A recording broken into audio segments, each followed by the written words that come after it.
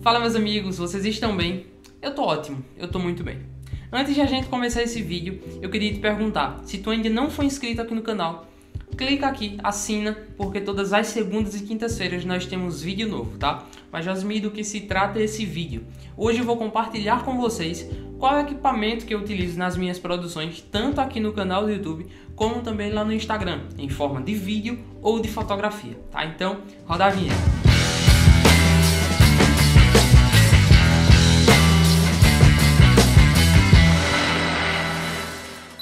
Bom pessoal, como vocês podem ver, aqui tem alguns equipamentos pelos quais é, são responsáveis pela minha produção de material, tanto aqui do canal do YouTube, quanto também, como eu falei, lá no Instagram, tá? É, tá me filmando ali a Canon T5 mais a lente 24mm 2.8 da Canon, que inclusive nós temos vídeo aqui no canal sobre esses equipamentos, sobre a Canon T5, sobre a 24mm, sobre a 50 sobre a lente do kit, tá? E também sobre o lance microfone J12. Eu não coloquei todos os equipamentos aqui na minha mesa que eu utilizo no dia a dia porque não ia caber. Não é que eu tenha tanta coisa, né? Mas tem algumas coisinhas. E eu quero começar justamente com a Canon T5, que é essa que está me filmando aí. Essa é uma câmera bem simples de entrada, tá? É uma câmera fotográfica que também tem recurso de vídeo. Eu tenho me apropriado desse recurso de vídeo para fazer dinheiro e para mostrar o meu trabalho também, enquanto eu não tenho uma câmera de vídeo melhor. Quando eu comprei a Canon T5, o meu intuito não era de produzir vídeos com ela, e sim de fotografar. Isso lá em 2018.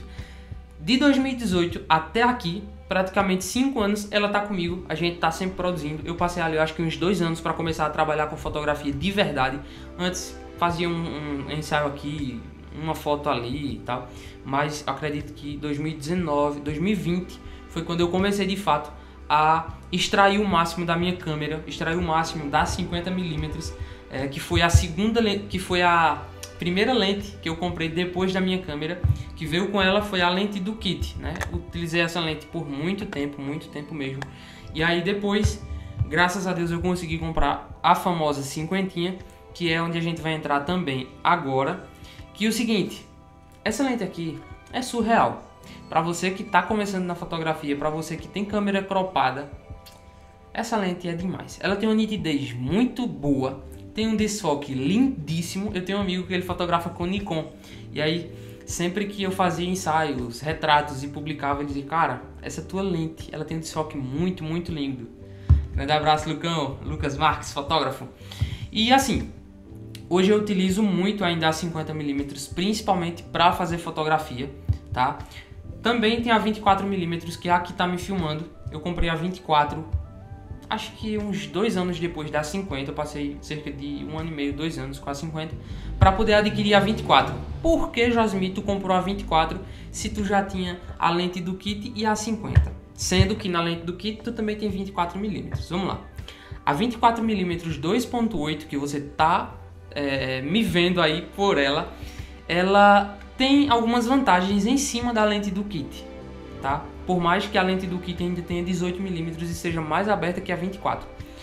A 24mm ela é 2.8, então ela é mais clara do que a lente do kit, o que já é um ponto, né? Outra coisa, as cores da 24 é surreal em cima da lente do kit. Isso é indiscutível. Se você comparar uma imagem crua da 24 e uma imagem crua da lente do kit, você vai ver totalmente a diferença. Outra coisa, a qualidade que a 24 ela me possibilita, meu amigo, só isso aí já derruba a lente do kit. Então, eu tinha necessidade de ter uma lente mais aberta do que a 50 por volta de 2020, porque eu comecei um trabalho, trabalhava na prefeitura lá em Barra de Guabiraba, e a lente do kit, a lente do kit, ela era escura, né? não tinha uma qualidade bacana, embora fosse possível sim fazer alguns trabalhos com ela. Ela, ela era escura, então eu necessitava de uma lente aberta e que fosse mais clara. Já que a 50 era clara, mas era bem fechada. Né? Eu não tinha gimbal, então era bem complicado filmar com essa lente também, porque além da T5 ela não ter é, estabilização no, sen no sensor, qualquer coisinha tremia tudo. Então eu necessitava de uma 24, porque aí dava até para disfarçar o tremido. Eu colocava a alça da câmera no pescoço, segurava ela aqui e quando queria fazer um take girando, fazia aqui, não tremia tanto, né? Mas enfim, claro que não é como um gimbal. Por muito tempo eu utilizei assim. depois disso tudo, depois da lente 50, depois da 24, depois que o tempo passou, eu adquiri o meu Scorp C, que inclusive tem um card aqui, passando dois cards em dois vídeos dele aqui ensinando a calibrar e um review sobre ele, tá? E aí depois que o Scorp C chegou, depois que o Scorp C chegou, ficou bem melhor a questão da produção, porque aí agora a gente tem uma imagem estabilizada, que antes a gente sentia aquilo tremendo, a gente até utilizava plugins né, no Filmora para estabilizar a imagem, mas não é a mesma coisa, a gente sabe disso. E aí, mesmo com a câmera, duas lentes legais e o gimbal, faltava uma coisa: microfone. Hoje eu utilizo para fazer as minhas gravações externas, áudio, o Ulanzi J12. Por quê? Ele tem um custo-benefício incrível, tá? Comparado a outros microfones, tem uma qualidade muito boa, qualidade surreal. E assim, por exemplo, o Holyland Lark 150 é um baita microfone, mas quando você vai olhar o preço, é lá para cima de um mil reais. Sabe quanto foi isso aqui? 155 reais. então assim, e inclusive também tem um card aqui falando sobre ele, um review, que eu indico muito esse microfone. É um, um, um microfone para celular, você só faz plugar ele no seu telefone e ele começa a gravar o áudio, é uma qualidade muito boa, tanto para você gravar em ambiente interno, como na rua, fazer documentário, coisa do tipo, que vai necessitar de da gravação de um áudio ali, de um depoimento. Esse microfone é excelente, tá? Então é o seguinte, hoje basicamente é isso que eu utilizo nas minhas gravações, tá? Meu caderno tá caindo. nas minhas gravações, é a Canon 50mm, a Canon T5, a lente 50mm, a 24 que é essa que está me filmando, a lente do kit eu utilizo ela raramente e quando eu utilizo, eu utilizo ela em 18 para me dar maior abertura em termos de campo de visão. Já que a 24 é bem aberta, mas em 18 ainda é um pouco mais. Então eu quero pegar um take bem aberto, eu quero pegar uma imagem de vlog, por exemplo. Eu utilizo ela em 18 só, não utilizo em mais outra milimetragem. A 24 faz isso por mim. E agora, meus amigos, depois de apresentar para vocês aqui um pouco do meu equipamento que eu o principal, posso dizer assim, que eu utilizo hoje, eu quero deixar aqui três dicas, três dicas para você que está começando aí no audiovisual, seja na fotografia ou seja no vídeo, tá? Então a primeira dica é a seguinte: invista em conhecimento. Acima de qualquer câmera, acima de qualquer lente, acima de qualquer microfone, de qualquer gimbal, está o conhecimento.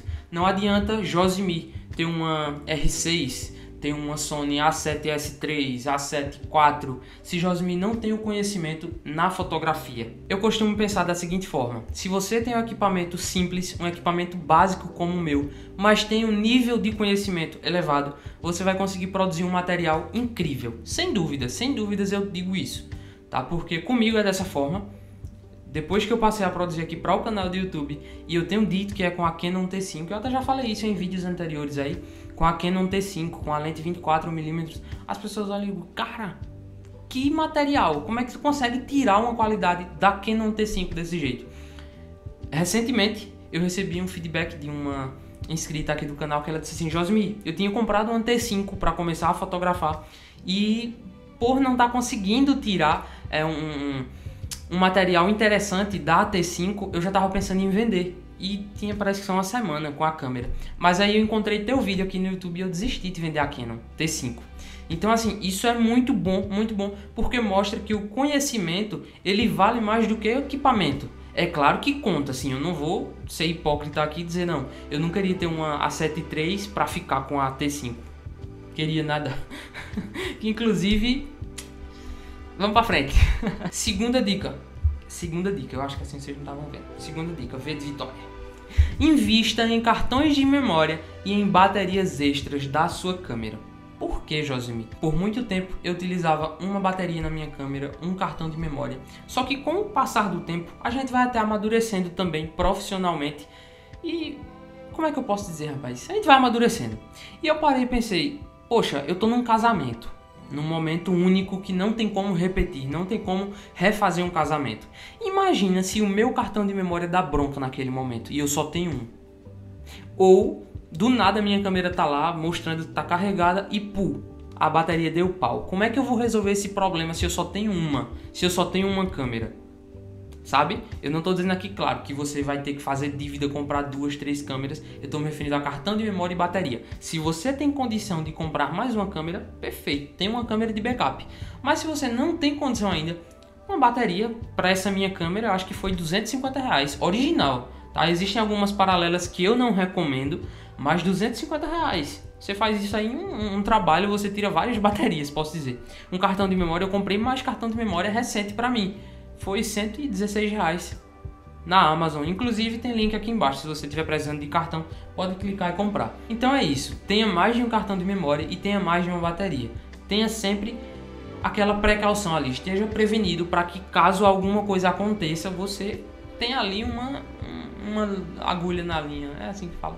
É não, é não. Falei errado. e por último, a última dica pra gente encerrar esse vídeo e não ficar uma coisa só falando, falando, falando. Mas eu sei que se você tá aí é porque você tá consumindo esse conteúdo e tá aprendendo. Estude sobre finanças. Como assim, Josmil? O que é que isso tem a ver com fotografia? O que é que isso tem a ver com teu equipamento, com vídeo?